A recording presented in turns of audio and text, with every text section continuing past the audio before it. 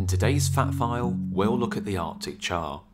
The British char typically only get to a couple of pounds and around 10 inches in length, though further north in Iceland, you'll get sea running char, which can get to weights of 20 pounds.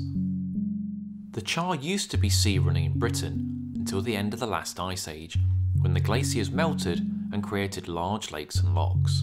These were then colonised by the char, which adapted to a solely freshwater life. There's an introduced char species also in Britain called the brook trout, which is native to North America but has a couple of breeding populations in the UK. It's mostly stocked into fly fishing lakes, and a popular hybrid of these and brown trout is called the tiger trout, which is known for its hard fight and aggressive nature on fly tackle. Arctic char prefer deep water and find small rivers entering lochs and lakes to spawn.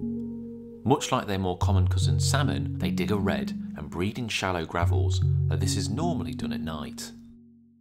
The diet depends on what's available, with char sometimes splitting off to feed on different food types. Like in Loch Ness, some char feed on organisms near the bottom, while others prefer to feed in mid-water.